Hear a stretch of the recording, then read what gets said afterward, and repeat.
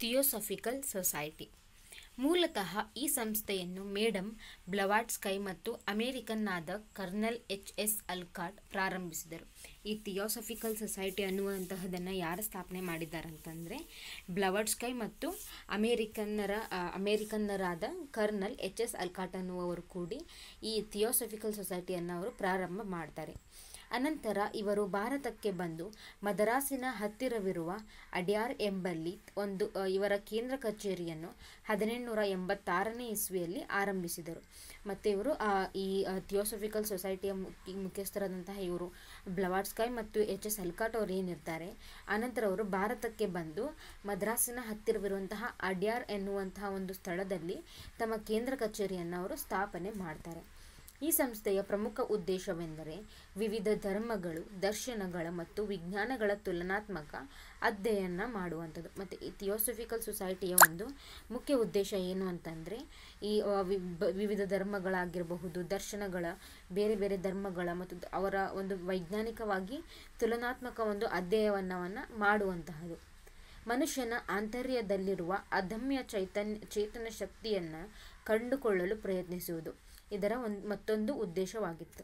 ಮತ್ತು ಇದಷ್ಟೇ ಅಲ್ಲದೇನೆ ಅಂದರೆ ಅಧ್ಯಯನ ಮಾಡುವುದು ಅಷ್ಟೇ ಅಲ್ಲದೇನೆ ಮನುಷ್ಯನ ಅಂತ ಏನು ಅಂತರ್ಯದಲ್ಲಿ ಒಂದು ಶಕ್ತಿ ಅಂತ ಏನಿದೆ ಅಂತ ನಾವು ಹೇಳ್ತೀವಲ್ಲ, ಒಂದು ಚೇತನ ಶಕ್ತಿ ಅಂತ.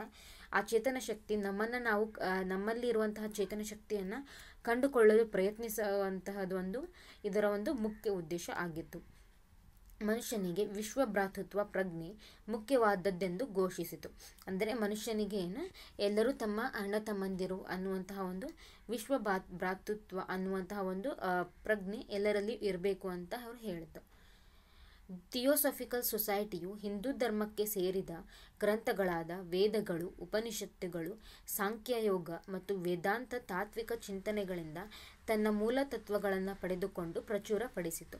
ಮತ್ತು ಈ ಥಿಯೋಸಫಿಕಲ್ ಸೊಸೈಟಿ ಅಂತ ಏನಿತ್ತಲ್ಲ ಅದು ಹಿಂದೂ ಧರ್ಮಕ್ಕೆ ಸೇರಿದಂತಹ ವೇದಗಳಾಗಿರಬಹುದು ಉಪನಿಷತ್ತುಗಳು ಮತ್ತು ಸಾಂಖ್ಯ ಯೋಗ ಮತ್ತು ವೇದಾಂತ ತಾಂತ್ವಿಕ ಚಿಂತನೆಗಳಿಂದ ತನ್ನ ಮೂಲ ತತ್ವಗಳನ್ನು ಅಂದರೆ ತನ್ನ ಆ, ಥಿಯೋಸಫಿಕಲ್ ಸೊಸೈಟಿ ಏನೆಲ್ಲ ಮಾಡಬೇಕು ಅನ್ನುವಂತಹದನ್ನು ಇದರ ಒಂದು ಬುನಾದಿಯಾಗಿ, ಇದರ ಒಂದು ತತ್ವಗಳಿಂದ ಅದು ಪಡೆದುಕೊಳ್ಳುತ್ತೆ ಅಂತ. ಸೊಸೈಟಿಯು ಭಾರತದ ಧಾರ್ಮಿಕ ಮತ್ತು ತಾತ್ವಿಕ ಅಥವಾ ದಾರ್ಶನಿಕ ಪರಂಪರೆಗಳನ್ನು ಅಧ್ಯಯನ ಮಾಡುವ ಮೂಲಕ ಸಮಕಾಲೀನ ಸಮಸ್ಯೆಗಳಿಗೆ ಉತ್ತರಗಳನ್ನು ಕಂಡುಕೊಳ್ಳುವ ಪ್ರಯತ್ನ ನಡೆಸಿತು. ಮತ್ತು ಆಗಿನ ಕಾಲದಲ್ಲಿ ಇದ್ದಂತಹ ಒಂದು ಒಂದು ಸಮಸ್ಯೆಗಳಿಗೆ ಅವರು ಉತ್ತರವನ್ನು ಯಾವುದರ ಮೂಲಕ ಕಂಡುಕೊಂಡು ಅಂದರೆ, ನಮ್ಮ ಭಾರತದ ಧಾರ್ಮಿಕ ಅಥವಾ ತಾತ್ವಿಕ ಮತ್ತು ದಾರ್ಶನಿಕ ಪರಂಪರೆಗಳನ್ನು ಅವರು ಅಧ್ಯಯನ ಮಾಡ್ತಾರೆ. ಅದರ ಮೂಲಕ ಅವರು ಇಂತಹ ಸಮಸ್ಯೆಗಳಿಗೆ ಉತ್ತರವನ್ನು ಕಂಡುಕೊಳ್ಳುವಂತಹ ಒಂದು ಪ್ರಯತ್ನವನ್ನು ಮಾಡುತ್ತಾರೆ ಹಾಗಾಗಿ ಈ ಸೊಸೈಟಿಯು ನಡೆಸಿದ ಪ್ರಯತ್ನಗಳನ್ನು ಹಿಂದೂ ಧರ್ಮದ ಪುನರುತ್ಥಾನ ಚಳುವಳಿ ಎಂದು ಕರೆಯಲಾಗಿದೆ. ವಿದೇಶಿಯರು ಈ ಚಳುವಳಿಯಲ್ಲಿ ಹೆಚ್ಚು ಆಸಕ್ತಿ ತಳೆದದ್ದನ್ನು ಗಮನಿಸಬಹುದಾಗಿದೆ. ಮತ್ತು ಈ ಒಂದು ಥಿಯೋಸಫಿಕಲ್ ಸೊಸೈಟಿಯ ಒಂದು ಚಳುವಳಿ ಏನಿತ್ತು, ಅಲ್ಲಿ ಹೆಚ್ಚಿನ ಜನ ಜನ ಹೆಚ್ಚಿನ ಸಂಖ್ಯೆಯಲ್ಲಿ ವಿದೇಶಿಯರೇ ಇದ್ದರು ಮತ್ತು ಏನಿದು, ಹಿಂದೂ ಧರ್ಮದ ಒಂದು ಪುನರುತ್ಥಾನ ಚಳುವಳಿ ಅಂತಲೇ ಹೇಳಿ ಈ ಸಂಸ್ಥೆಯಲ್ಲಿ ನಡೆದಂತಹ ಒಂದು ಪ್ರಯತ್ನಗಳನ್ನು ಕರಿತೇವೆ. ಐರಿಷ್ ಮಹಿಳೆ ಆ್ಯನಿ ಬೆಸೆಂಟರು ಹದಿನೆಂಟುನೂರ ತೊಂಬತ್ತ್ಮೂರರಲ್ಲಿ ಭಾರತಕ್ಕೆ ಬಂದ ನಂತರ ಥಿಯೋಸಫಿಕಲ್ ಸೊಸೈಟಿಯು ಸೊಸೈಟಿಯ ಚಳವಳಿಯು ಗಮನಾರ್ಹವಾಗಿ ಬೆಳೆಯತೊಡಗಿತ್ತು. ಅಂದರೆ ಈ ಐರ್ ಐರ್ಲ್ಯಾಂಡ್ನಲ್ಲಿರ್ತಕ್ಕಂತಹ ಒಂದು ಒಬ್ಬ ಮಹಿಳೆಯವರು ಆ್ಯನಿ ಬೆಸೆಂಟ್ ಅವ್ರಿಗೆ ಐರಿಷ್ ಮಹಿಳೆ ಅಂತ ಹೇಳ್ತಾರೆ. ಅವರು ಹದಿನೆಂಟುನೂರ ತೊಂಬತ್ತ್ಮೂರನೇ ಇಸ್ವಿಯಲ್ಲಿ ಅವರು ಭಾರತಕ್ಕೆ ಬರ್ತಾರೆ. ಈ ಥಿಯೋಸಫಿಕಲ್ ಸೊಸೈಟಿ ಬಂದ ಮೇಲೆ ಅಲ್ಲಿ ಆ ಥಿಯೋಸಫಿಕಲ್ ಸೊಸೈಟಿ ಒಂದು ಏನು ಚಳುವಳಿ ನಡೆಸಿತ್ತಲ್ಲ, ಅದು ಏನು ತುಂಬ ದೊಡ್ಡ ಮಟ್ಟದಲ್ಲಿ ಅದು ಆ್ಯನಿ ಅವರು ಬಂದ ಮೇಲೆ ಬೆಳೆಯತೊಡಗಿತು. ಥಿಯೋಸಫಿಕಲ್ ಸೊಸೈಟಿಯ ಅನುಯಾಯಿಯಾಗಿ ಹದಿನೆಂಟುನೂರ ತೊಂಬತ್ತ್ಮೂರರಲ್ಲಿ ಈಕೆ ಭಾರತಕ್ಕೆ ಬಂದರು. ಇವರು ಹದಿನೆಂಟುನೂರ ನಲವತ್ತೇಳನೇ ಇಸ್ವಿಯಲ್ಲಿ ಲಂಡನ್ ನಗರದಲ್ಲಿ ಜನಿಸಿದರು. ಆಂಗ್ಲಿಕನ್ ಚರ್ಚ್ ಪಾದ್ರಿಯಾದ ತನ್ನ ಗಂಡನಿಗೆ ವಿಚ್ಛೇದನ ನೀಡಿ ಹದಿನೆಂಟುನೂರ ಎಂಬತ್ತೊಂಬ ಎಂಬತ್ತೊಂಬತ್ತರಲ್ಲಿ ಈ ಸಂಸ್ಥೆಯ ಸಕ್ರಿಯ ಸದಸ್ಯರಾದರು. ಇವರು ಏನು? ಹದಿನೆಂಟುನೂರ ನಲವತ್ತೇಳನೇ ಇಸ್ವಿಯಲ್ಲಿ ಲಂಡನ್ ನಗರದಲ್ಲಿ ಅವರು ಜನಿಸ್ತಾರೆ ಮತ್ತು ಆ ಚರ್ಚಿನ ಆಂಗ್ಲಿಕನ್ ಚರ್ಚಿನ ಪಾದ್ರಿಯಾದಂತಹ ಏನು? ತನ್ನ ಗಂಡನಿಗೆ ಅವರು ಡೈವೋರ್ಸನ್ನು ಕೊಟ್ಟು ಹದಿನೆಂಟುನೂರ ಎಂಬತ್ತ್ಮೂರನೇ ಇಸ್ವಿಯಲ್ಲಿ ಅವರು ಈ ಥಿಯೋಸಫಿಕಲ್ ಸೊಸೈಟಿಯ ಒಬ್ಬ ಸದಸ್ಯರಾಗ್ತಾರೆ. ಇವರು ವೇದಾಂತ ಶಾಸ್ತ್ರದ ಬಗೆಗೆ ವಿಶೇಷ ಜ್ಞಾನವನ್ನು ಹೊಂದಿದ್ದರು. ಐಹಿಕ ಸಂಪತ್ತಿನ ಮೇಲೆ ನಿಂತಿರುವ ಪಶ್ಚಿಮದ ಸಂಸ್ಕೃತಿಗಿಂತ ಆಧ್ಯಾತ್ಮಿಕ ಶಕ್ತಿಯ ಮೇಲೆ ನಿಂತಿರುವ ಭಾರತ ಸಂಸ್ಕೃತಿ ಶ್ರೇಷ್ಠವಾದದ್ದೆಂದು ಪ್ರತಿಪಾದಿಸಿದರು. ಇವರು ಏನು? ಬಾ, ಏನು ಆಧ್ಯಾತ್ಮಿಕ ಶಕ್ತಿಯ ಮೇಲೆ ನಿಂತಿರುವಂತಹ ಭಾರತದ ಸಂಸ್ಕೃತಿ ಏನಿದು? ಅದು ಅತ್ಯಂತ ಶ್ರೇಷ್ಠವಾದುದು ಪಾಶ್ಚಿಮದ ಸಂಸ್ಕೃತಿಗಿಂತ ಅಂತ ಹೇಳಿ ಅವರು ಪ್ರತಿಪಾದನೆಯನ್ನು ಮಾಡ್ತಾರೆ. ಈ ಅರ್ಥದಲ್ಲಿ ಇವರ ಚಳುವಳಿಯು ಹಿಂದೂ ಧರ್ಮದ ಪುನರುತ್ಥಾನ ಚಳುವಳಿಯಾಗಿತ್ತು. ಇವರು ಹಿಂದೂ ಮತ್ತು ಬೌದ್ಧ ಧರ್ಮಗಳ ತುಲನಾತ್ಮಕ ಅಧ್ಯಯನವನ್ನು ಮಾಡಿದರು. ಇವರ ಪ್ರಮುಖ ಸಾಧನಗಳೆಂದರೆ, ಸಾಧನೆಗಳೆಂದರೆ ಭಗವದ್ಗೀತೆಯನ್ನು ಇಂಗ್ಲಿಷ್ಗೆ ಅನುವಾದ ಮಾಡ್ತಾರೆ ಇವರು. ಮತ್ತು ಇದರಿಂದ ಅವರು ಶ್ವೇತ ಸರಸ್ವತಿ ಅಂತ ಹೇಳಿ ಅವರು ಕರೆಸ್ಕೊಳ್ತಾರೆ. ಶ್ವೇತ ಅಂತ ಅಂದರೆ ಬಿಳಿ ಅಂತ ಹೇಳ್ತಾರಲ್ಲ, ಅಂದರೆ ಅವರು ಬಿಳುಪಿ, ಬಿಳು, ಬಿಳಿ ಏನಿದ್ರಲ್ಲ, ಅದಕ್ಕೆ ಅವರು ಶ್ವೇತ ಸರಸ್ವತಿ ಅಂತ ಅನಿಸ್ಕೊಂಡ್ರು. ಆ ಬುಕ್, ಭಗವದ್ಗೀತೆಯನ್ನು ಅವರು ಇಂಗ್ಲೀಷಕ್ಕೆ ಏನವರು ಟ್ರಾನ್ಸ್ಲೇಟ್ ಮಾಡ್ತಾರೆ. ಎಲ್ಲ ವರ್ಗಗಳಿಗೂ ಶಿಕ್ಷಣ ಸಿಗಬೇಕೆಂಬುದು ಅವರ ಆಶಯವಾಗವಿತ್ತು ಆಶಯವಾಗಿತ್ತು. ಇದಕ್ಕೆ ಶಲ, ಶಾಲೆಗಳನ್ನು ತೆರೆದರು. ಮತ್ತು ಎಲ್ಲ ವರ್ಗದ ಮಕ್ಕಳಿಗೂ ಕೂಡ ಶಿಕ್ಷಣ ಅನ್ನುವುದು ಸಿಗಬೇಕು. ಅದು ಮುಖ್ಯ ಅಂತ ಹೇಳಿ ಅವ್ರದ್ದು ಆಶಯ ಆಗಿತ್ತು. ಅದಕ್ಕೋಸ್ಕರ ಅವರು ಶಾಲೆಗಳನ್ನು ತೆರೆದರು. ಹದಿನೆಂಟುನೂರ ತೊಂಬತ್ತೆಂಟರಲ್ಲಿ ಸೆಂಟ್ರಲ್ ಹಿಂದೂ ಕಾಲೇಜನ್ನು ಬನಾರಸ್ಸಿನಲ್ಲಿ ಪ್ರಾರಂಭಿಸಿದರು. ಮತ್ತು ಈ ಬನಾರಸ್ ಅನ್ನುವಂತಹ ಒಂದು ಸ್ಥಳದಲ್ಲಿ ಅವರು ಹದಿನೆಂಟುನೂರ ತೊಂಬತ್ತೆಂಟನೇ ಇಸ್ವಿಯಲ್ಲಿ ಸೆಂಟ್ರಲ್ ಹಿಂದೂ ಕಾಲೇಜನ್ನು ಅವರು ಸ್ಥಾಪನೆ ಮಾಡ್ತಾರೆ. ಮುಂದೆ ಇದೇ ಸಂಸ್ಥೆಯು ಮದನ ಮೋಹನ ಮಾಳವೀಯ ಅವರ ಪ್ರಯತ್ನದಿಂದ ಹತ್ತೊಂಬತ್ತು ನೂರ ಹದಿನಾರರಲ್ಲಿ ಬನಾರಸ್ ಹಿಂದೂ ವಿಶ್ವವಿದ್ಯಾಲಯವಾಗಿ ಪರಿವರ್ತನೆಯಾಯಿತು. ಇವರು ಸ್ಥಾಪಿಸಿದಂತಹ ಏನು ಸೆಂಟ್ರಲ್ ಹಿಂದೂ ಕಾಲೇಜ್ ಇರ್ತಿತ್ತಲ್ಲ ಅದೇ ಏನು ಈ ಮದನ್ ಮೋಹನ ಮಾಳವೀಯ ಅವರ ಪ್ರಯತ್ನದಿಂದ ಅದು ಬನಾರಸ್ ಹಿಂದೂ ವಿಶ್ವವಿದ್ಯಾಲಯ ಆಗಿ ಪರಿವರ್ತನೆಯಾಗತ್ತೆ. ಸಮಕಾಲೀನ ಸಮಸ್ಯೆಗಳನ್ನು ಚರ್ಚೆ ಮತ್ತು ಸಂವಾದಕ್ಕೆ ಈಡು ಮಾಡಲು ನ್ಯೂ ಇಂಡಿಯಾ ಮತ್ತು ಕಾಮನ್ ವೀಲ್ ಎಂಬ ಪತ್ರಿಕೆಗಳನ್ನು ಆರಂಭಿಸಿದರು. ಮತ್ತು ಈ ಆಗಿನ ಕಾಲದಲ್ಲಿರ್ತಕ್ಕಂತಹ ಸಮಸ್ಯೆಗಳನ್ನು ಚರ್ಚೆ ಮಾಡಲಿಕ್ಕೆ ಮತ್ತು ಏನಾದರೂ ಸಂವಾದಗಳನ್ನು ಮಾಡಲಿಕ್ಕೆ ಅವರು ನ್ಯೂ ಇಂಡಿಯಾ ಮತ್ತು ಕಾಮನ್ ವೀಲ್ ಎನ್ನುವಂತಹ ಒಂದು ಎರಡು ನ್ಯೂಸ್ ಪೇಪರ್ಗಳನ್ನು ಅವರು ಪ್ರಾರಂಭ ಮಾಡ್ತಾರೆ. ಹತ್ತೊಂಬತ್ತು ನೂರ ಅರವ ಹದಿನಾರರಲ್ಲಿ ಹೋಮ್ ರೂಲ್ ಲೀಗ್ ಪ್ರಾರಂಭಿಸಿ ಮದರಾಸು ಪ್ರಾಂತ್ಯದಲ್ಲಿ ಹೋಮ್ ರೂಲ್ ಚಳುವಳಿಗೆ ಚಾಲನೆಯನ್ನು ನೀಡಿದರು. ಹೀಗೆ ಥಿಯೋಸಫಿಕಲ್ ಸೊಸೈಟಿ ಮತ್ತು ಅದರ ಅವಿನಾಭಾಗವಾದ ಆ್ಯನಿಬೆಸೆಂಟರಿಗೆ ಇಪ್ಪತ್ತನೇ ಶತಮಾನದ ಆರಂಭಿಕ ಕಾಲಘಟ್ಟದ ಭಾರತದಲ್ಲಿ ಹೊಸ ಧಾರ್ಮಿಕ ಮತ್ತು ಸಾಮಾಜಿಕ ಸಂವೇದನೆ ರೂಪಿಸಿದ ಕೀರ್ತಿ ಸಲ್ಲಬೇಕು. ಮತ್ತು ಹೀಗೆ ಈ ಥಿಯೋಸಫಿಕಲ್ ಸೊಸೈಟಿ ಏನೇನೆಲ್ಲ ಸಮಾಜ ಸುಧಾರಣೆಗಳನ್ನು ಮಾಡಲಿಕ್ಕೆ ಸಹಾಯ ಮಾಡ್ತು. ಮತ್ತು ಹಾಗೇನೆ ಅವಿ ಅನಿಬೆಸೆಂಟ್ರಿಗೂ ಕೂಡ ಏನು, ಈ ಒಂದು ಇಪ್ಪತ್ತನೇ ಶತಮಾನದ ಒಂದು ಆರಂಭಿಕ ಕಾಲಘಟ್ಟ ಏನಿತ್ತಲ್ಲ ಅಂತಹದಲ್ಲಿ ಭಾರತದಲ್ಲಿ ಒಂದು ಹೊಸ ಧಾರ್ಮಿಕ ಆಗಿರ್ಬೋದು, ಮತ್ತು ಸಾಮಾಜಿಕ ಒಂದು ಸಂವೇದನೆ ರೂಪಿಸಿದಂತಹ ಒಂದು ಕೀರ್ತಿ ಅವರಿಗೆ ಸಲ್ಲಬೇಕು ಭಾರತದ ಸ್ವತಂತ್ರ ಚಳವಳಿಯಲ್ಲಿಯೂ ಸಕ್ರಿಯವಾಗಿದ್ದ ಆ್ಯನಿಬೆಸೆಂಟ್ ಅವರು ಭಾರತ ರಾಷ್ಟ್ರೀಯ ಕಾಂಗ್ರೆಸ್ ಅಧಿವೇಶನದ ಮೊಟ್ಟ ಮೊದಲ ಮಹಿಳಾ ಅಧ್ಯಕ್ಷೆ ಕೂಡ ಆಗಿದ್ದರು ಮತ್ತು ಈ ಆ್ಯನಿಬೆಸೆಂಟ್ ಏನವರು ಭಾರತದ ಸ್ವಾತಂತ್ರ್ಯ ಚಳುವಳಿ, ಚಳುವಳಿಯಲ್ಲಿಯೂ ಕೂಡ ಅವರು ಸಕ್ರಿಯವಾಗಿ ತಮ್ಮನ್ನು ತಾವು ತೊಡಗಿಸಿಕೊಂಡಿದ್ದರು ಮತ್ತು ಅವರು ಭಾರತ ರಾಷ್ಟ್ರೀಯ ಕಾಂಗ್ರೆಸ್ ಏನಿತ್ತಲ್ಲ, ಅದರ ಒಂದು ಮೊಟ್ಟ ಮೊದಲ ಅಧಿವೇಶನ ಏನಿತ್ತು ಅದರ ಒಂದು ಮೊಟ್ಟ ಮೊದಲ ಮಹಿಳಾ ಅಧ್ಯಕ್ಷೆ ಆಗಿದ್ದರು ಇವರು. ಇನ್ನು ಶ್ರೀ ನಾರಾಯಣ ಗುರು ಧರ್ಮ ಪರಿಪಾಲನಾ ಯೋಗಂ.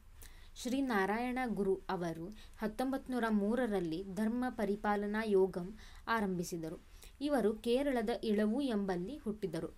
ಮತ್ತು ಈ ನಾರಾಯಣ ಗುರು ಅವರು ಏನು? ಹತ್ತೊಂಬತ್ತು ನೂರ ಮೂರನೇ ಇಸ್ವಿಯಲ್ಲಿ ಅವರು ಧರ್ಮ ಪರಿಪಾಲನಾ ಯೋಗಂ ಅನ್ನುವಂತಹ ಒಂದು ಸಂಸ್ಥೆಯನ್ನು ಇವರು ಆರಂಭಿಸ್ತಾರೆ. ಮತ್ತು ಇವರು ಕೇರಳದ ಇಳವ, ಇಳವು ಎನ್ನುವಂತಹ ಒಂದು ಸ್ಥಳದಲ್ಲಿ ಹುಟ್ಟುತ್ತಾರೆ. ಈ ಸಂಘಟನೆಯ ಪ್ರಮುಖ ಉದ್ದೇಶವೆಂದರೆ ಹಿಂದುಳಿದ ಮತ್ತು ಶೋಷಣೆಗೊಳಗೊಳಗಾದ ಸಮುದಾಯಗಳ ಸಬಲೀಕರಣ. ಅಂದರೆ ಈ ಧರ್ಮ ಪರಿಪಾಲನಾ ಯೋಗಮ್ ಅನ್ನುವಂತಹ ಒಂದು ಏನು ಸಂಸ್ಥೆಯನ್ನು ಪ್ರಾರಂಭಿಸ್ತಾರಲ್ಲ, ಇದನ್ನು ಯಾಕೆ ಪ್ರಾರಂಭಿಸ್ತಾರೆ ಅಂದರೆ ಇವಾಗ ಹಿಂದುಳಿದ ವರ್ಗಗಳ ಜನರಿಗಾಗಿರ್ಬೋದು ಮತ್ತು ಶೋಷಣೆಗೊಳಗಾದಂತಹ ಒಂದಿಷ್ಟು ಸಮುದಾಯಗಳನ್ನು ಅವರು ಬಲಾಢ್ಯರನ್ನಾಗಿ ಮಾಡೋದಕ್ಕೆ ಅವರನ್ನು ಏನು ಏನು, ಅವರಿಗೆ ಒಂದು ಶಕ್ತಿಯನ್ನು ನೀಡಲಿಕ್ಕೆ ಈ ಸಂಸ್ಥೆಯನ್ನು ಅವರು ಪ್ರಾರಂಭಿಸ್ತಾರೆ. ನಾರಾಯಣ ಗುರು ಹಾಗೂ ಅವರ ಒಡನಾಡಿಗಳಾದ ಡಾಕ್ಟರ್ ಪಲ್ಪು ಮತ್ತು ಕುಮಾರನ್ ಆಸನ್ರವರು ಈ ಚಳುವಳಿಯನ್ನು ಮುಂದೆ, ಮುನ್ನಡೆಸಿದರು. ಮತ್ತು ಅವರ ಜೊತೆಗೇನೆ ಡಾಕ್ಟರ್ ಪಲ್ಪು ಮತ್ತು ಕುಮಾರನ್ ಆಸನ್ ಅವರು ಕೂಡ ಈ ಚಳುವಳಿಯನ್ನು ಮುನ್ನಡೆಸ್ತಾರೆ. ಕೇರಳದ ಸಮಾಜದಲ್ಲೂ ಅತಿ ಜಾತಿ ಅಂತರಗಳ ಸಮಸ್ಯೆಗಳು ವ್ಯಾಪಕವಾಗಿದ್ದು, ಅನೇಕ ಹಿಂದುಳಿದ ಮತ್ತು ದಲಿತ ಸಮುದಾಯಗಳಿಗೆ ಸಾಮಾಜಿಕ ನಿರ್ಬಂಧಗಳನ್ನು ಹೇರಲಾಗಿತ್ತು. ಮತ್ತು ಇದು ಭಾರತದ ಎಲ್ಲ ಭಾಗಗಳಲ್ಲಿಯೂ ಇತ್ತು, ಒಂದೇ ಭಾಗದಲ್ಲಿ ಅಂತಲ್ಲ. ಹಾಗೆಯೇ ಕೇರಳ ಸಮಾಜದಲ್ಲಿನೂ ಕೂಡ ಇಲ್ಲಿ ಜಾತಿ ಅಂತರಗಳ ಸಮಸ್ಯೆ ತುಂಬ ಜಾಸ್ತಿ ಇದು. ಮತ್ತು ಅನೇಕ ಹಿಂದುಳಿದ ಮತ್ತು ದಲಿತ ಸಮುದಾಯಗಳಿಗೆ ಏನು ಸಾಮಾಜಿಕ ನಿರ್ಬಂಧಗಳನ್ನು ಹೇರ್, ಹೇರಲಾಗಿತ್ತು. ಅಂದರೆ ಅಂದರೆ ಏನಂತ ಹೇಳ್ಬೋದು ಅವರು ಎಲ್ಲರೂ ಈಗ ಒಂದು ನಲ್ಲಿಯ ನೀರನ್ನು ಅವರು ಕುಡಿಯುವಂತಿರಲಿಲ್ಲ. ಮತ್ತು ದೇವಸ್ಥಾನಗಳಿಗೆ ಏನು ಹಿಂದುಳಿದ ಅಥವಾ ದಲಿತ ವರ್ಗದವರಿಗೆ ಅಲ್ಲಿ ಪ್ರವೇಶ ಇರಲಿಲ್ಲ. ಹೀಗೆ ಅನೇಕ ರೀತಿಯ ಸಾಮಾಜಿಕ ಒಂದು ನಿರ್ಬಂಧನೆಗಳನ್ನು ಆ ಕೇರಳ ಸಮಾಜದಲ್ಲಿಯೂ ಕೂಡ ಹೇರಲಾಗಿತ್ತು. ಆ ಕಾಲಘಟ್ಟದಲ್ಲಿ ಈ ಸಮುದಾಯಗಳು ಎಲ್ಲರೂ ಬಳಸಲು ಇದ್ದ ಕೆರೆ ಬಾವಿಗಳಲ್ಲಿ ನೀರನ್ನು ತೆಗೆದುಕೊಳ್ಳಲಾಗುತ್ತಿರಲಿಲ್ಲ. ಅಂದರೆ ಅಂತಹ ಸಮಯದಲ್ಲಿ ಇರ್ತಕ್ಕಂತಹ ಒಂದಿಷ್ಟು ಕೆರೆ ಬಾವಿಗಳು ಏನಿದ್ವು, ಅಲ್ಲಿ ಅವರು ಆ ಸಮುದಾಯದ ಜನರು ನೀರನ್ನು ತೆಗೆದುಕೊಳ್ಳುವಂತಿರಲಿಲ್ಲ. ಮತ್ತು ರಸ್ತೆಗಳ ಮೂಲಕ ಅವರು ಓಡಲಾಗುತ್ತಿರಲಿಲ್ಲ. ಮತ್ತು ಅವರು ಚಪ್ಪಲಿಗಳನ್ನು ಹಾಕಬಾರ್ದು. ಮತ್ತು ದೇವಸ್ಥಾನಕ್ಕೆ ಪ್ರವೇಶಿಸುವಂತಿರಲ್ಲ. ಮಹಿ, ಮಹಿಳೆಯರ ಉಡುಪುಗಳ ಮೇಲೂ ನಿರ್ಬಂಧಗಳನ್ನು ಹೇರಲಾಗಿತ್ತು. ಇಷ್ಟೇ ಅಲ್ಲದೆ ಶಾಲೆಗಳಿಗೂ ಇವರಿಗೆ ಪ್ರವೇಶ ಇರಲಿಲ್ಲ. ನೋಡ್ಬೋದು, ಇಲ್ಲಿ ಹಿಂದುಳಿದ ಮತ್ತು ದಲಿತ ಸಮುದಾಯಗಳಿಗೆ ಯಾವುದೇ ರೀತಿಯ ಅವರಿಗೆ ತುಂಬ ಹಕ್ಕುಗಳಿಂದ ಅವರನ್ನು ವಂಚಿತರನ್ನಾಗಿ ಮಾಡಿ, ಮಾಡಿದ್ರು. ಅಂದರೆ ನೀರನ್ನು ತೆಗೆದುಕೊಳ್ಳದೆ ಇರುವುದು, ರಸ್ತೆಗಳಲ್ಲಿ ಅವರು ಓಡಾಡುವಂತಿರಲಿಲ್ಲ, ಚಪ್ಪಲಿಗಳನ್ನು ಹಾಕುವಂತಿರಲಿಲ್ಲ, ದೇವಸ್ಥಾನಕ್ಕೆ ಅವರು ಹೋಗ್ತಾ ಇರ, ಹೋಗುವಂತಾಗಿರಲಿಲ್ಲ, ಮತ್ತು ಉಡುಪುಗಳ ಮೇಲೂ ನಿರ್ಬಂಧ, ಮತ್ತು ಶಾಲೆಗಳಿಗೂ ಕೂಡ ಇವರಿಗೆ ಪ್ರವೇಶ ಇರಲಿಲ್ಲ. ಕನಿಷ್ಠ ಪ್ರಮಾಣದ ಮಾನವ ಹಕ್ಕುಗಳನ್ನು ಪಡೆಯದ ಈ ಸಮುದಾಯಗಳು ಉಸಿರುಗಟ್ಟಿ ಬದುಕಬೇಕಾದ ಪರಿಸ್ಥಿತಿ ಇತ್ತು. ಮತ್ತು ಈ ಬೇಕಾದಂತಹ ಒಂದು ಮೂಲಭೂತ ಹಕ್ಕುಗಳನ್ನು ಸಹ ಇಂತಹ ಸಮಾಜದವರಿಗೆ ನೀಡಲಿಲ್ಲ. ಅವರಿಗೇನು ಉಸಿರುಗಟ್ಟಿ ಬದುಕಬೇಕಾದಂತಹ ಆ ಪರಿಸ್ಥಿತಿ ಆ ಕೇರಳದಲ್ಲಿ ಇತ್ತು. ಈ ವಿಷಯಗಳನ್ನು ಕೈಗೆತ್ತಿಕೊಂಡು ಶ್ರೀ ನಾರಾಯಣ ಗುರು ಅವರು ತಮ್ಮ ಧರ್ಮ ಪರಿಪಾಲನಾ ಯೋಗ ಮೂಲಕ ಸಾಮಾಜಿಕ ಪ್ರತಿರೋಧದ ಚಳುವಳಿಗಳನ್ನು ಪ್ರಾರಂಭಿಸಿದರು. ಮತ್ತು ಈ ವಿಷಯಗಳನ್ನು ಅವರು ಮನಸ್ಸಿನಲ್ಲಿಟ್ಟುಕೊಂಡು ಇವನ್ನು ಅವರು ಇದಕ್ಕೆ ಪರಿಹಾರಗಳನ್ನು ಕ, ತಗೊಳ್ಬೇಕು ಅಂತ ಹೇಳಿ ಶ್ರೀ ನಾರಾಯಣ ಗುರು ಅವರು ತಮ್ಮ ಧರ್ಮ ಪರಿಪಾಲನಾ ಯೋಗಂ ಅನ್ನುವಂಥ ಒಂದು ಸಂಘಟ, ಏನು, ಪ್ರ, ಚಳುವಳಿಗಳನ್ನು ಅವರು ಪ್ರಾರಂಭ ಮಾಡ್ತಾರೆ. ಮನುಷ್ಯ ಘನತೆಯಿಂದ ಬದುಕುವ ಸಮಾಜದ ನಿರ್ಮಾಣವೇ ಈ ಸಂಘಟನೆಯ ಉದ್ದೇಶ ಆಗಿತ್ತು. ಮತ್ತು ಏನು ಇಲ್ಲಿ ಮನುಷ್ಯ ಧರ್ಮ ಪರಿಪಾಲನಾ ಯೋಗಂ ಅನ್ನುವಂಥ ಒಂದು ಚಳುವಳಿಯನ್ನು ಪ್ರಾರಂಭಿಸ್ತಾರೆ ಮತ್ತು ಮನುಷ್ಯ ಏನು ಘನತೆಯಿಂದ ಬದುಕಬೇಕು.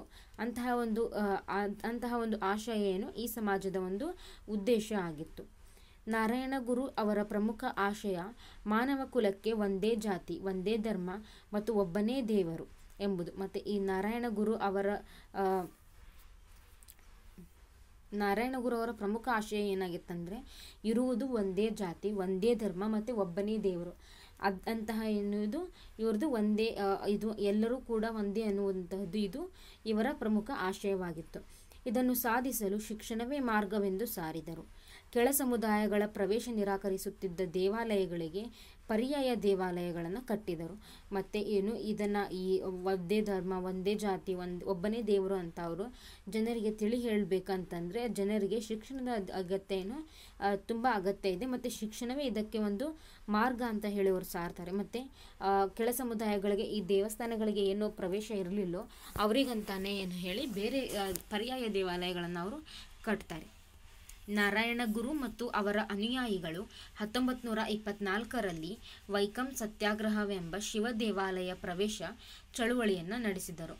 ಇದರಲ್ಲಿ ಗಾಂಧೀಜಿಯವರು ಹಾಗೂ ಆತ್ಮಗೌರವ ಚಳವಳಿಯ ರುವಾರಿಗಳಾದ ಪೆರಿಯಾರರು ಭಾಗವಹಿಸಿದ್ದರು. ಗುರುವಾಯೂರು ದೇವಾಲಯ ಪ್ರವೇಶ ಚಳುವಳಿಯು ಮತ್ತೊಂದು ಮಹತ್ವದ ಘಟನೆ. ಮತ್ತು ಇವರು ಏನು ಮಾಡ್ತಾರೆ? ನಾರಾಯಣ ಗುರು ಮತ್ತು ಅವರ ಅನ್ಯಾಯಗಳು ಏನು ಮಾಡ್ತಾರೆ? ಹತ್ತೊಂಬತ್ತು ನೂರ ಇಪ್ಪತ್ನಾಲ್ಕನೇ ಇಸ್ವಿಯಲ್ಲಿ ವೈಕಂ ಸತ್ಯಾಗ್ರಹವೆಂಬ ಒಂದು ಶಿವ ದೇವಾಲಯ ಪ್ರವೇಶ ಚಳುವಳಿಯನ್ನು ಅವರು ನಡೆಸ್ತಾರೆ. ಅಂದರೆ, ಆ ಶಿವ ದೇವಾಲಯ ಏನಿತ್ತು ಅಲ್ಲಿಯೂ ಕೂಡ ತಮಗೆ ಪ್ರವೇಶಿಸುವಂತಹ ಒಂದು ಅವಕಾಶವನ್ನು ನೀಡಬೇಕು ಅಂತ ಹೇಳಿ ಅವರು ವೈಕಂ ಸತ್ಯಾಗ್ರಹ ಅನ್ನುವಂತಹ ಒಂದು ಚಳುವಳಿಯನ್ನು ಅವರು ನಡೆಸ್ತಾರೆ. ಮತ್ತು ಈ ಚಳುವಳಿಯಲ್ಲಿ ಏನು ಗಾಂಧೀಜಿಯವರು ಕೂಡ ಇದ್ದರು ಮತ್ತು ಆತ್ಮಗೌರವ ಚಳುವಳಿಯ ರೂವಾರಿಗಳಾದಂತಹ ಪೆರಿಯಾರು ಕೂಡ ಇಲ್ಲಿ ಭಾಗವಹಿಸಿದ್ದರು ಮತ್ತು ಇದೇ ತರಹನೂ ಕೂಡ ಗುರುವಾಯೂರು ದೇವಾಲಯ ಪ್ರವೇಶ ಚಳುವಳಿಯೂ ಕೂಡ ಮಹತ್ವದ ಘಟನೆಯಾಗಿದೆ. ಪೆರಿಯಾರ್. ಇಪ್ಪತ್ತನೆಯ ಶತಮಾನದ ಆರಂಭದಲ್ಲಿ ಬ್ರಾಹ್ಮಣೇತರ ಚಳುವಳಿ ಎಂಬ ಹೊಸ ಬಗೆಯ ಚಳುವಳಿ ದಕ್ಷಿಣ ಭಾರತದಲ್ಲಿ ಆರಂಭವಾಯಿತು. ಮತ್ತು ಅಂದರೆ ಇಪ್ಪತ್ತನೇ ಶತಮಾನದ ಆರಂಭದಲ್ಲಿ ಏನು? ಬ್ರಾಹ್ಮಣೇತರ ಚಳುವಳಿ ಅನ್ನುವಂತಹ ಒಂದು ಹೊಸ ಚಳುವಳಿ ಏನು ಇಲ್ಲಿ? ದಕ್ಷಿಣ ಭಾರತದಲ್ಲಿ ಆರಂಭ ಆಗುತ್ತೆ. ಬಹುಸಂಖ್ಯಾತರಾಗಿದ್ದ ಬ್ರಾಹ್ಮಣೇತರರು ಸರ್ಕಾರಿ ರಂಗದಲ್ಲಿ ಇದ್ದ ಅವಕಾಶಗಳಲ್ಲಿ ತಮ್ಮ ಜನಸಂಖ್ಯೆಗೆ ಅನುಗುಣವಾಗಿ ತಮಗೆ ಪ್ರಾತಿನಿಧ್ಯ ಸಿಗಬೇಕೆಂದು ಹೋರಾಟವನ್ನು ಪ್ರಾರಂಭಿಸಿದರು. ಅಂದರೆ ಈ ಏನು ಬ್ರಾಹ್ಮಣೇತರು ಏನು ಈ ದಕ್ಷಿಣ ಭಾರತದಲ್ಲಿ ತುಂಬ ಜನರಿದ್ದರು. ಮತ್ತು ಸರ್ಕಾರಿ ರಂಗದಲ್ಲಿ ಇರ್ತಕ್ಕಂತಹ ಒಂದಿಷ್ಟು ಅವಕಾಶಗಳಂತ ಏನಿರ್ತಾವಲ್ಲ ಅದರಲ್ಲಿ ತಮಗೂ ಕೂಡ ಹೆಚ್ಚಿನ, ಅಂದರೆ ನಮ್ಮ ಜನಸಂಖ್ಯೆ ಜಾಸ್ತಿ ಇದೆ. ಮತ್ತು ಅದಕ್ಕೂ ಅದಕ್ಕೆ ಅನುಗುಣವಾಗಿ ನಮಗೆ ಹೆಚ್ಚಿನ ಒಂದು ಪ್ರಾಮುಖ್ಯತೆ ಸಿಗಬೇಕು ಅಂತ ಹೇಳುವರು ಹೋರಾಟವನ್ನು ಆರಂಭಿಸ್ತಾರೆ. ಕರ್ನಾಟಕವೂ ಸೇರಿದಂತೆ ವಿವಿಧ ರಾಜ್ಯಗಳಲ್ಲಿ ಇದೊಂದು ಪ್ರಮುಖ ಚಳುವಳಿಯಾಯಿತು. ಬ್ರಾಹ್ಮಣೇತರ ಸಮುದಾಯಗಳು ತಮ್ಮ ಮೇಲೆ ಹೇರಲಾಗಿದ್ದ ಸಾಮಾಜಿಕ ನಿರ್ಬಂಧಗಳನ್ನು ವಿರೋಧಿಸತೊಡಗಿದರು. ಇದಕ್ಕೆ ಪ್ರಮುಖ ಕಾರಣವಾದದ್ದು ಇಂಗ್ಲಿಷ್ ವಿದ್ಯಾಭ್ಯಾಸದ ವಿಸ್ತರಣೆ. ಇದರ ಜೊತೆಗೆ ಬ್ರಿಟಿಷರು ಹದಿನೆಂಟುನೂರ ಎಪ್ಪತ್ತರ ನಂತರ ತಂದ ಜನಗಣತಿ ವರದಿಗಳು ಬ್ರಾಹ್ಮಣೇತರಿಗೆ ತಮ್ಮ ಜನಸಂಖ್ಯೆಯ ಅರಿವನ್ನು ತಂದುಕೊಟ್ಟವು. ತಮಿಳುನಾಡಿನಲ್ಲಿ ಹತ್ತೊಂಬತ್ತು ನೂರ ಹದಿನಾರರಲ್ಲಿ ಪ್ರಾರಂಭವಾದ ಜಸ್ಟಿಸ್ ಪಾರ್ಟಿಯು ಈ ಚಳುವಳಿಯನ್ನು ಮುನ್ನಡೆಸಿತು. ಮತ್ತೆ ಏನು ಈ ಬ್ರಾಹ್ಮಣೇತರ ಸಮುದಾಯಗಳ ಮೇಲೆ ಏನು ಒಂದಿಷ್ಟು ಸಾಮಾಜಿಕ ನಿರ್ಬಂಧನೆಗಳನ್ನು ಏನು ಹೇರಿದ್ರೋ ಅದನ್ನು ಅವರು ವಿರೋಧ ಮಾಡತೊಡಗಿದ್ರು. ಮತ್ತು ಇದಕ್ಕೆ ಪ್ರಮುಖ ಕಾರಣ ಏನು? ಈ ಇಂಗ್ಲೀಷ್ ವಿದ್ಯಾಭ್ಯಾಸವನ್ನು ಎಲ್ಲ ಕಡೆ ವಿಸ್ತರಣೆ ಮಾಡುವಂತಹದು. ಮತ್ತು ಹದಿನೆಂಟುನೂರ ಎಪ್ಪತ್ತರ ನಂತರ ಒಂದು ಜನಗಣತಿ ಅನ್ನುವಂತಹ ಒಂದು ಏನು ತರ್ತಾರೋ ಈ ಬ್ರಿಟಿಷರು ಅದರ ಮೂಲಕ ಬ್ರಾಹ್ಮಣರಿಗೆ ಗೊತ್ತಾಗುತ್ತೆ. ತಮ್ಮ ಜನಸಂಖ್ಯೆ ಎಷ್ಟಿದೆ ಅನ್ನೋ ಅನ್ನುವಂತಹದ್ದು ಮತ್ತು ಹತ್, ತಮಿಳುನಾಡಿನಲ್ಲಿ ಹತ್ತೊಂಬತ್ತು ನೂರ ಹದಿನಾರನೇ ಇಸ್ವಿಯಲ್ಲಿ ಪ್ರಾರಂಭವಾದಂತಹ ಈ ಜಸ್ಟಿಸ್ ಪಾರ್ಟಿ ಏನಾಗುತ್ತೆ? ಈ ಒಂದು ಚಳುವಳಿಯನ್ನು ಮುನ್ನಡೆಸುತ್ತೆ. ಜಸ್ಟಿಸ್ ಪಾರ್ಟಿಯ ಮೂಲಕ ಬ್ರಾಹ್ಮಣೇತರ ಚಳುವಳಿಯನ್ನು ಹೊಸ ರೂಪವನ್ನು ಪಡೆಯಿತು. ಇದು ಹೆಚ್ಚು ಕ್ರಾಂತಿಕಾರಕವಾದ ಹೆಜ್ಜೆಯಾಗಿತ್ತು. ಈ ಜಸ್ಟಿಸ್ ಪಾರ್ಟಿ ಅನಂತರ ಏನಿದು ಮುನ್ನಡೆಸುತ್ತೋ, ಇದರ ಮೂಲಕ ಏನು ಈ ಬ್ರಾಹ್ಮಣೇತರ ಚಳುವಳಿ ಏನಿದು ಒಂದು ಹೊಸ ರೂಪವನ್ನು ಪಡೆದುಕೊಳ್ಳುತ್ತೆ. ಅಂದರೆ ಇದು ಹೆಚ್ಚು ಕ್ರಾಂತಿಕಾರಕವಾಗಿರುತ್ತೆ ಅಂತ. ಈ ಹೊಸ ರೂಪವೇ ಇ ವಿ ರಾಮಸ್ವಾಮಿ ನಾಯರ್ ಅವರ ನೇತೃತ್ವದಲ್ಲಿ ಆರಂಭಗೊಂಡ ಆತ್ಮಗೌರವ ಚಳುವಳಿ. ಅಂದರೆ ಇದ, ಅಂದರೆ ಆ ಕ್ರಾಂತಿಕಾರಕ ಹೆಜ್ಜೆ ಏನಂತಂದರೆ ಇದು ಇ ವಿ ರಾಮಸ್ವಾಮಿ ನಾಯರ್ ಅವರ ಒಂದು ಮುಖಂಡದತ್ವ ಮುಖಂಡತ್ವ ಮುಖಂಡತ್ವದಲ್ಲಿ ಏನು ಆತ್ಮಗೌರವ ಚಳುವಳಿ ಎನ್ನುವಂತಹದ್ದು ಅದೊಂದು ಆರಂಭ ಆಗುತ್ತೆ. ಹತ್ತೊಂಬತ್ತು ನೂರ ಇಪ್ಪತ್ತೈದರಲ್ಲಿ ಕಾಂಗ್ರೆಸ್ ಪಕ್ಷದಿಂದ ಹೊರಬಂದ ರಾಮಸ್ವಾಮಿ ಅವರು ಹತ್ತೊಂಬತ್ತು ನೂರ ಇಪ್ಪತ್ತಾರರಲ್ಲಿ ಸೆಲ್ಫ್ ರೆಸ್ಪೆಕ್ಟ್ ಲೀಗ್ ಅನ್ನು ಆರಂಭಿಸಿದರು. ಅಂದರೆ ಹತ್ತೊಂಬತ್ತು ನೂರ ಇಪ್ಪತ್ತೈದನೇ ಇಸ್ವಿಯಲ್ಲಿ ಈ ರಾಮಸ್ವಾಮಿ ಅವರು ಕಾಂಗ್ರೆಸ್ ಪಕ್ಷವನ್ನು ಬಿಟ್ಟು ಹೊರಗೆ ಬರ್ತಾರೆ. ಮತ್ತು ಹತ್ತೊಂಬತ್ತು ನೂರ ಇಪ್ಪತ್ತಾರನೇ ಇಸ್ವಿಯಲ್ಲಿ ಈ ಆತ್ಮಗೌರವ ಚಳುವಳಿ, ಅಂದರೆ ಸೆಲ್ಫ್ ರೆಸ್ಪೆಕ್ಟ್ ಲೀಗ್ ಅನ್ನೋರು ಆರಂಭಿಸ್ತಾರೆ. ಇವರನ್ನು ಜನರು ಪ್ರೀತಿಯಿಂದ ಪೆರಿಯಾರ್ ಎಂದು ಕರೆದರು. ಮತ್ತು ಈ ಪೆರಿಯಾರ್ ಅಂದರೆ ಏನಿದೆ? ಹಿರಿಯರು ಅಂತ ಅರ್ಥ. ಇವರು ಏನು ಸೆಲ್ಫ್ ರೆಸ್ಪೆಕ್ಟ್ ಲೀಗನ್ನು ಆರಂಭಿಸಿದವರು ಅಂತ. ಪೆರಿಯಾರ್ ತಮಿಳುನಾಡಿನ ಈರೋಡಿನಲ್ಲಿ ಶ್ರೀಮಂತ ಕುಟುಂಬವೊಂದರಲ್ಲಿ ಜನಿಸಿದರು. ವರ್ಣಾಶ್ರಮ ಧರ್ಮದ ಪರವಾಗಿ ಕಾಂಗ್ರೆಸ್ ಇದೆ ಎಂದು ಅದಕ್ಕೆ ಪರ್ಯಾಯವಾದ ದ್ರಾವಿಡ ಚಳವಳಿ ಎಂಬ ಜನಾಂಗೀಯ ಪರಿಕಲ್ಪಿತ ಕೇಂದ್ರಿತ ಚಳವಳಿಯನ್ನು ರೂಪಿಸತೊಡಗಿದ್ದರು. ಆರ್ಯ ಬ್ರಾಹ್ಮಣ ಎನ್ನುವ ಜನಾಂಗೀಯ ಶ್ರೇಷ್ಠತೆಯನ್ನು ಸಾರುವ ಆಲೋಚನೆಗಳನ್ನು ಇಡಿಯಾಗಿ ತಿರಸ್ಕರಿಸಿದರು. ಅಂದರೆ ಅವರು ಏನು? ಇವರು ಪರಿಯಾರ್ ಅನ್ನುವಂಥವರು ತಮಿಳುನಾಡಿನ ಈ ರೋಡಿನಲ್ಲಿ ಇವರು ಜನಿಸ್ತಾರೆ ಮತ್ತು ಇವರೊಂದು ಶ್ರೀಮಂತ ಕುಟುಂಬಕ್ಕೆ ಉಳ್ಳವರಾಗಿದ್ದರು. ಮತ್ತು ವರ್ಣಾಶ್ರಮ ಧರ್ಮದ ಪರವಾಗಿ ಏನು? ಕಾಂಗ್ರೆಸ್ ಇದೆ ಎನ್ನುವಂತಹ ಒಂದು. ಮತ್ತು ಅದಕ್ಕೆ ಪರ್ಯಾಯವಾದ ದ್ರಾವಿಡ ಚಳುವಳಿ ಎಂಬ ಜನಾಂಗೀಯ ಪರಿಕಲ್ಪನೆ ಕೇಂದ್ರಿತ ಚಳುವಳಿಯನ್ನು ರೂಪಿಸತೊಡಗಿದರು. ಆರ್ಯ ಆಗಿರಬಹುದು, ಬ್ರಾಹ್ಮಣ ಎನ್ನುವಂತಹ ಒಂದು ಜನಾಂಗೀಯದ ಒಂದು ಜನಾಂಗದ ಮೇಲೆ ಶ್ರೇಷ್ಠತೆಯನ್ನು ಸಾರುವಂತಹ ಆಲೋಚನೆಗಳನ್ನು ಇವರು ತಿರಸ್ಕರಿಸ್ತಾರೆ. ಅಂದರೆ ಯಾರು ಮೇರಲ್ಲ ಯಾರು ಕೇಳಲ್ಲ ಅನ್ನುವಂತಹದ್ದು.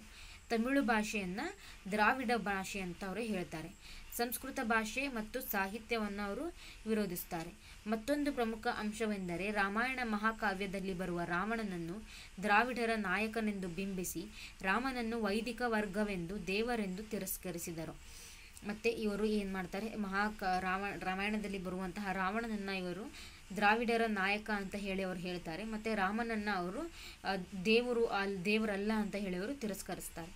ಬನಾರಸ್ಸಿನಲ್ಲಿ ಆದ ಕಹಿ ಅನುಭವಗಳಿಂದ ಮತ್ತಷ್ಟು ವ್ಯಗ್ರರಾದ ಪೆರಿಯಾರರು ಸಂಸ್ಕೃತ ಭಾಷೆ ಮತ್ತು ರಾಮಾಯಣದ ರಾಮ ಮತ್ತು ರಾವಣರನ್ನು ಸಾಂಸ್ಕೃತಿಕ ಸಂಕೇತಗಳನ್ನಾಗಿ ಪರಿವರ್ತಿಸಿ ರಾವಣ ಪರಂಪರೆಯನ್ನು ಇವರು ವೈಭವೀಕರಿಸ್ತಾರೆ.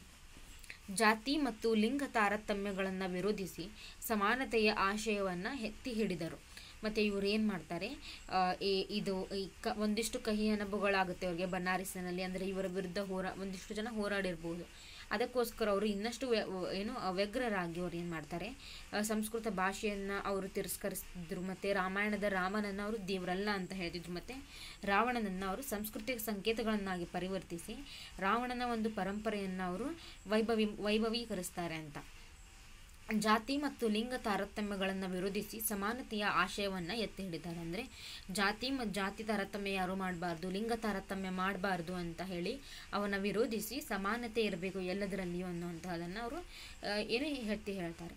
ಹತ್ತೊಂಬತ್ತು ನೂರ ಇಪ್ಪತ್ನಾಲ್ಕರಲ್ಲಿ ಕೇರಳದ ವೈಕಂನಲ್ಲಿ ಅಸ್ಪೃಶ್ಯರಿಗೆ ದೇವ, ದೇವಾಲಯದ ಪ್ರವೇಶದ ಹಕ್ಕಿನ ಹೋರಾಟದಲ್ಲಿ ಭಾಗವಹಿಸಿದ್ದರು. ಮತ್ತು ಅಷ್ಟೇ ಅಲ್ಲದೆ ಹತ್ತೊಂಬತ್ತು ನೂರ ಇಪ್ಪತ್ನಾಲ್ಕನೇ ಇಸ್ವಿಯಲ್ಲಿ ಕೇರಳದ ವೈಕಂ ಅನ್ನುವಂತಹದಲ್ಲಿ ಏನಿತ್ತು, ಅಲ್ಲಿ ಅಸ್ಪೃಶ್ಯರು ದೇವಾಲಯಕ್ಕೆ ಪ್ರವೇಶ ಮಾಡಬೇಕು ಅನ್ನುವಂತ ಹೇಳಿ, ಆ ಹಕ್ಕು ಬೇಕು ಅಂತ ಹೇಳಿ ಏನು ಹೋರಾಟ ಮಾಡಿದ್ರು, ಆ ಹೋರಾಟದಲ್ಲಿಯೂ ಕೂಡ ಈ ಪೆರಿಯಾರ್ ಅವರು ಭಾಗವಹಿಸ್ತಾರೆ. ಹತ್ತೊಂಬತ್ತು ನೂರ ಮೂವತ್ತೊಂಬತ್ತರಲ್ಲಿ ಜಸ್ಟಿಸ್ ಪಕ್ಷದ ಅಧ್ಯಕ್ಷರಾಗ್ತಾರೆ ಇವರು. ದ್ರಾವಿಡ ಕಳಗಂ ಎಂಬ ಸಂಘಟನೆಯನ್ನು ಹುಟ್ಟುಹಾಕಿದರು ರಿವೋಲ್ಟ್ ಪತ್ರಿಕೆಯನ್ನು ಹುಟ್ಟುಹಾಕ್ತಾರೆ ಇಂದಿಗೂ ತಮಿಳುನಾಡಿನ ರಾಜಕೀಯ ಕ್ಷೇತ್ರಗಳಲ್ಲಿ ಪೆರಿಯಾರರು ಸೈದ್ಧಾಂತಿಕ ಸಂಕೇತವಾಗಿ ಉಳಿದಿದ್ದಾರೆ. ಅಲ್ಲಿನ ರಾಜಕೀಯ ಪಕ್ಷಗಳು ದ್ರಾವಿಡ ಎನ್ನುವ ಹೆಸರನ್ನು ತಮ್ಮ ಪಕ್ಷಗಳ ಹೆಸರಿನಲ್ಲಿ ಉಳಿಸಿಕೊಂಡಿರುವುದೇ ಇದಕ್ಕೆ ದೊಡ್ಡ ಸಾಕ್ಷಿ.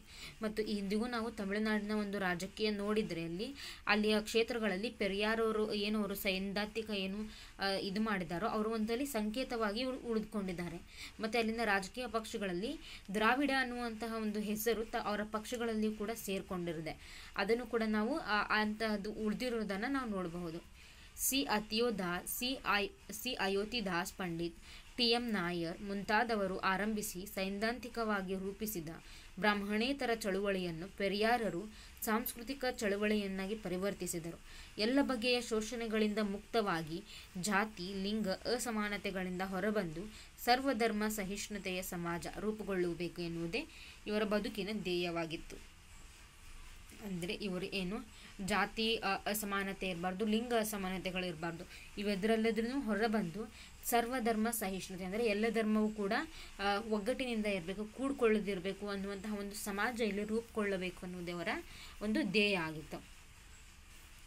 ನೋಡಿ, ಇದು ತುಂಬ ಇಂಪಾರ್ಟೆಂಟ್ ಚಾಪ್ಟರ್ ಮತ್ತು ಯಾವ ಧರ್ಮವನ್ನು ಯಾರ್ಯಾರು ಅಂದರೆ ಯಾವ ಸಮಾಜವನ್ನು ಯಾರ್ಯಾರು ಸ್ಥಾಪನೆ ಮಾಡಿದ್ರು, ಯಾವ್ಯಾವ ಚಳುವಳಿಗಳೆಲ್ಲ ನಡೆದವು, ಮತ್ತು ಯಾವ ಸಮಾಜದ ಸಮಾಜದ ಉದ್ದೇಶಗಳೇನಾಗಿತ್ತು ಅಂದರೆ ಏನೇನೆಲ್ಲ ಅವರು ಸುಧಾರಣಾ ಕಾರ್ಯಕ್ರಮಗಳನ್ನು ಮಾಡಿದರು, ಮತ್ತು ಏನೇನೆಲ್ಲ ಯಾರ್ಯಾರು ಕಾಲೇಜನ್ನು ಸ್ಥಾಪನೆ ಮಾಡಿದರು, ಅವನ್ನೆಲ್ಲ ಕೂಡ ಓದಿ, ಇನ್ನು ಚಟುವಟಿಕೆ ಮತ್ತು ಯೋಜನೆಗಳನ್ನು ಕೂಡ ಮಾಡಿ. ಧನ್ಯವಾದ.